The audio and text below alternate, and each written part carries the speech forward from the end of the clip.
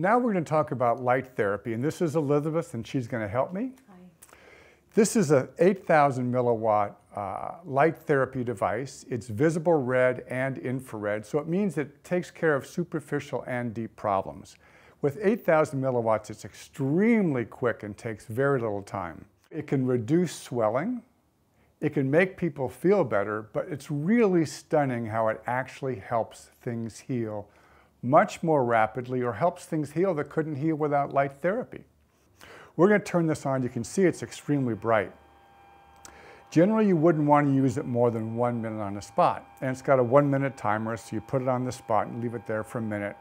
The longer you leave it on a spot, the deeper it will go. If it's more of a skin problem, then you would paint. If you're static, it's going to penetrate more deeply because more photons go into the area. What the photons do is they stimulate the mitochondria and help the cell, cells heal. So one wonderful thing is to treat TMJ pain and facial pain and head pain. So if we turn this on, we can put it right on the TMJ, and that will help the joint and all of the muscles. Of course, you can treat muscles of the forehead and face, if you go to my book, LED and Light Therapy, you'll see that there's information on what they're doing at Harvard and uh, Mass General Hospital about treating the brain. And if someone has scar tissue, what you're going to do is you're going to put the light on the area first to soften it up.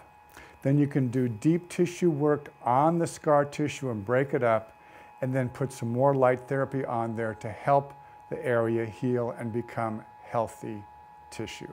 So one wonderful thing about the UltraBright, it's got a 60 second timer so you don't have to think because you rarely ever need to use it more than 60 seconds. You want to actually always have skin to skin contact because material tape will actually block the emission from penetrating into the tissues. Laser has been found and light has been found to stimulate proliferation of cells. So generally we say avoid all cancers, any kind of skin cancer.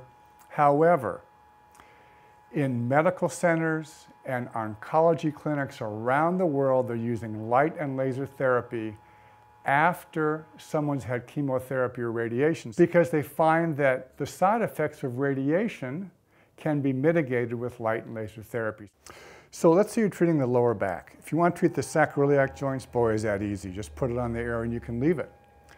30 seconds usually does it. Occasionally you want to go up to a minute, but with a powerful LED like this, 30 to 60 seconds is all you need.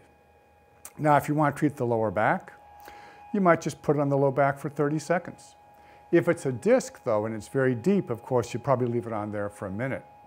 If you want to get a wider area, you put it on transversely like this, and then you turn it vertically and leave it that way. The beauty is you can actually put this on the body and then work on some other part of the patient and then come back and it will treat by itself.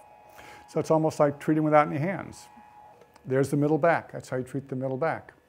If it's off the side like the rhomboids or those muscles, you can just move it off the side. And you can just leave it there. That's the beauty of it. You can just put it on the area that needs to be treated, leave it there for 30 to 60 seconds. And if you want to treat the upper back, there you go. Treat the upper back.